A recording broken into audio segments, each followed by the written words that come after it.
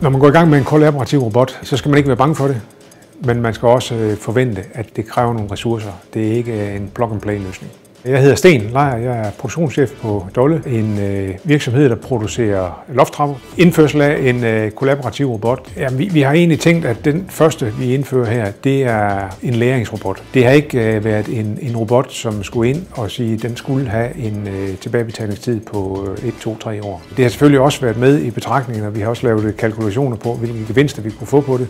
Men, men det har faktisk ikke været det, der har været driveren i det. Og det, det er faktisk ret spændende at se, at øh, når vi nu har fået den ind, så er der også medarbejdere fra andre områder, som siger, kunne vi ikke også bruge den til at håndtere noget ned ved vores øh, proces? Det har været en større mundfuld, end, end vi havde forventet at, at lære at programmere. Så det vi, vi har gjort øh, efterfølgende, det er, at vi har besluttet, at øh, vi skal have nogle kurser i, hvordan programmerne til den kollaborative robot de, de skal laves, så vi kan få bygget noget mere viden på.